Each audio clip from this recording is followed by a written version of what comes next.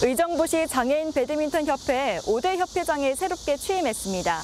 첫 비장애인 회장으로서 앞으로의 행보가 기대되는데요. 정은성 기자입니다.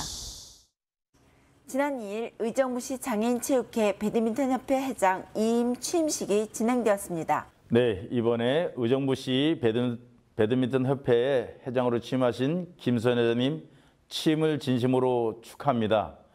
비장애이신 회장님께서 장애인 배드민턴 협회장을 취임해 주심으로 인해서 장애인과 비장애인이 함께 운동할 수 있는 터전을 마련해 주셨습니다. 앞으로 장애인 배드민턴이 애롭지 않게 비장애인과 함께 운동할 수 있는 그런 계기를 마련해 주실 것을 부탁드립니다. 장애인 체육 활동에 관심을 가진 많은 시민과 관계자들이 참여해 체육계 로비를 가득 메웠습니다. 4대 김수익 회장이 임하고 5대 회장에 계림 FS 김수현 대표가 취임했습니다.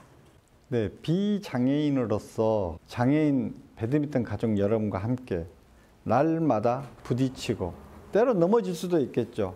그러나 여러분들이 함께 저를 일으켜 주시면은 저도 여러분들을 함께 일으켜서 같이 동행하겠습니다. 함께 같이 가는 가치관을 가지고 최선을 다해서 여러분들과 함께 나가보도록 하겠습니다. 장애인 체육회 설립 후 첫 비장애인 회장 취임은 장애인 체육에 많은 변화를 가져올 것으로 기대하고 있습니다. 복지TV 경기방송 정선입니다.